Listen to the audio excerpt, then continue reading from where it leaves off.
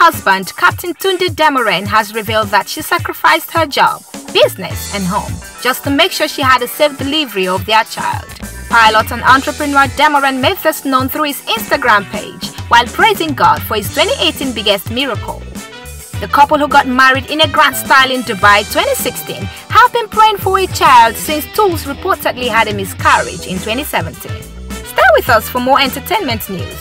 Don't forget to subscribe to our YouTube channel. I am Mariah Obashi for Roots TV Nigeria. Bye for now.